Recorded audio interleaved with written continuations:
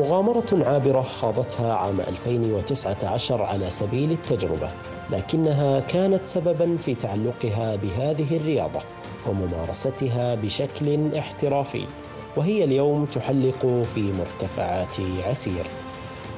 كانت أول تجربة لي بموسم السوداء. بعدها آه، حبيت أني آه، أبحث وأسأل عن رياضة الباراجلايدنج اللي هي طيران الشراعي أه تواصلت مع المدرب المبدع محمد سيف وسألته إذا كان في مجال أن الشابات أو الفتيات يتدربون على الطيران الشراعي وصراحة رحب بالفكرة.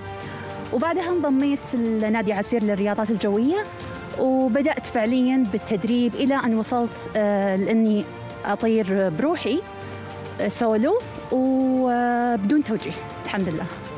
تحدت الصعوبات والمخاطر وأصرت على تحقيق حلمها في التحليق وحيدة دون مدرب بعد حصص تدريبية عدة.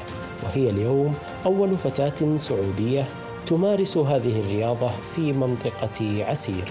أنا شخصيا الصعب اللي يواجهني إن التنقل بين المدن. في حين إني أنا أقيم في مدينة تبعد عن منطقة عسير تقريبا خمس ساعات فهذا أكثر شيء صعب آه، يواجهني. آه، ولكن آه، يهون عند أو في سبيل إن أمارس هذه الرياضة وأطير وأستمتع. أكثر شيء حببني فيها إني لقيت نفسي فيها وشخصيا أحب المغامرة وأحب تجربة كل شيء جديد. كل ما أطير أنسى كل شيء وأستمتع بالطيران.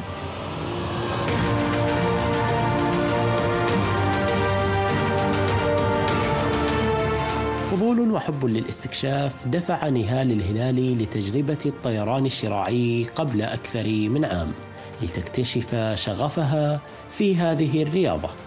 محمد الجميري MBC عسير.